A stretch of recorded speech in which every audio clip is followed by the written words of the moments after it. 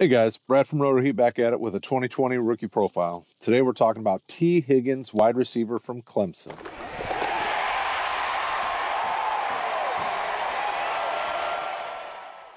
Don't forget, if you've liked all the content you've been seeing from the Roto Heat channel here on YouTube, like and subscribe so you can stay up to date with everything that we're kicking out for this 2020 rookie class. Higgins had 135 catches for 2,448 yards and 27 touchdowns. That came out to 18.1 yards per catch.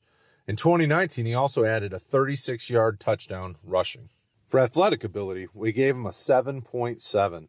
Uh, this dude is super talented. You know, uh, for his athletic profile, you know, he's got great size and speed. He's got the uh, really good ball control, especially when going up and trying to get the ball. Um, he, he makes highlight reel sideline catches on the regular. You know, check out some of his footage in 2019. The guy is just all over the field. You know, he's got a nice big frame. He knows how to use his body when going up and getting those balls. He can box out corners, especially at his size. He's, you know, 6'4, 215. That's a great size for a receiver. Uh, he he definitely has a lot of Mike Williams to his game, uh, a for, another former Clemson receiver, and it and it really should translate well to the NFL level. For toughness, we gave him a 7.1 out of 10. We saw plenty of times on tape that he was willing to lower his shoulder and, and really try to bowl over those corners and get some extra yards. Um, he's really good at fighting for extra yards, and we really like that about his game. He definitely, uh, with the six four frame, he's definitely a big, uh, strong kid. You know, very physical. Uh, we saw that plenty of times when you think of, when you look at his his him in the red zone. You know, he's a very physical receiver, and, and we think that translates well to the next level. Um, the one concern we had, which kind of knocked down a score, is when it came to run blocking and and you know, and kind of blocking after somebody else is on the move with the ball. Didn't seem to go at it 100%, you know, and, and we did have some of the evaluators have a little bit of concern about kind of his uh, his engagement, you know, when when it isn't coming to him. So that's a concern there, but definitely not something that we think is a, a big knock on his game. For hands, the team gave him an 8.4 out of 10.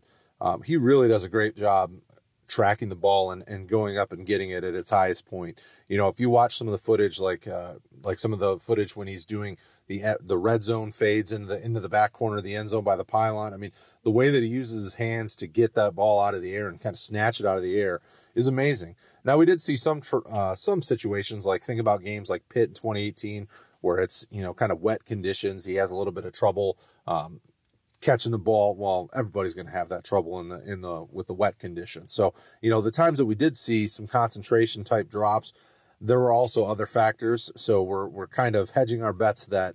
Um, those are more outliers based on you know weather uh, conditions and things like that you know, but we really like his his hands as he moves to the next level. You know, um, comps that we've seen some of our evaluators give him is you know Mike Williams, AJ Green, you know, really good hands catchers. For YAC, the team gave him a 7.4 out of 10. You know, a perfect example of this is is watch his game against South Carolina in 2019. It was fun to watch. Big play after big play. I think that really can be his ceiling at the next level because of his size, his speed. I mean, that, that combination really gives him the opportunity to be a big play guy, you know, and we saw some of those when he had the ball in his hands and, and he was running in stride, there was nobody catching him. You know, the guy just has a really, really good big play ability. And, and we think that, you know, obviously 7.4 isn't, isn't the highest score, you know, but it's a really, uh, you know, it's a really good quality starter score uh, at the wide, wide receiver position. And we're excited to see how that transitions to the NFL game. For route running, we gave him a 7.6 out of 10.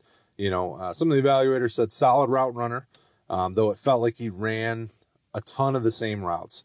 You know, so the concern here is um, his route tree. You know, how how much of it was schemed based on the fact that he just is a big play threat. You know, um, we saw a lot of great red zone opportunities for him, and he did a good job in the red zone, especially on fades and some of those.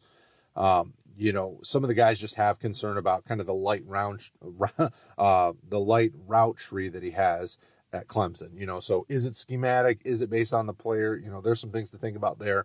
Um, we watched a lot of different games on him and, and, and didn't see a ton of dynamic routes. You know, a lot of a lot of deep stuff, deep you know uh, fades in the end zone, a lot of the same types of routes. So you know, some things to think about there. Overall, we gave him a 7.6 out of 10. Uh, I like this statement by one of our evaluators: built like an NFL wide receiver and plays like one too. Uh, this guy does big play after big play, and it and he's fun to watch. I mean, when you watch a lot of his footage from 2018 and 2019, you see him as a mismatch all over the field. He's inside, he's moved outside. You know, the guy's got an insane amount of talent, and and I think he will turn it on at the next level, and you'll see a really big play uh, wide receiver at the NFL level. You know, at 6'4", 215 with good speed. Um, it's going to be fun to watch. You know, like I've already mentioned the video, comps I've seen based on the guys that are uh, evaluating him are AJ Green and Mike Williams. You know, and I definitely saw a lot of the former Clemson wide receiver Mike Williams in him, except Tee Higgins is healthier. You know, Mike Williams obviously at the NFL level uh, has had some some tough times in, college and the NFL level with with injuries. Um, you know, and the system that he's been in, you've seen big plays from him. I think Tee Higgins is just as, as big play threat as, as Mike Williams or, or AJ Green or any of these guys. So um, when it comes to fantasy, definitely a guy that we see going in the back half of the first round currently.